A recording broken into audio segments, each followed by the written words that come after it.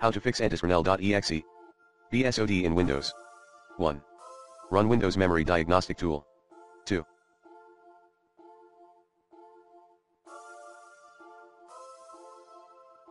Run SFC and DISM command.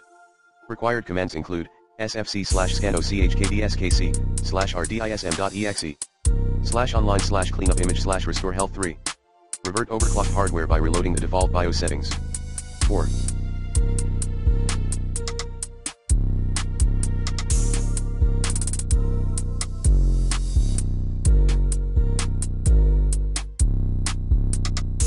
Uninstall any third-party, recently installed, drivers. Plan B, update all your device drivers using the recommended Avast driver updater in this video guide.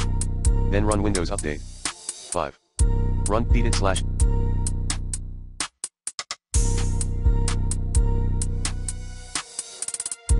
Set hypervisor launch type off command as admin. 6. Remove potentially faulty memory modules. 7.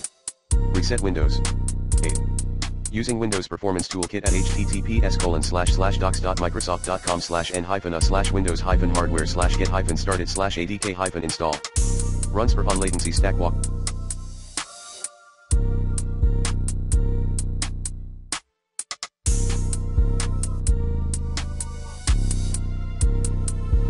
Profile buffer size 1024 max file 256 file mode circular and end timeout minus 1 and ends for deepusage.edl. Command as admin.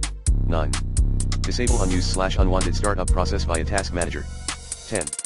See if you've run malware issue using the recommended Avast Internet Security in this video guide.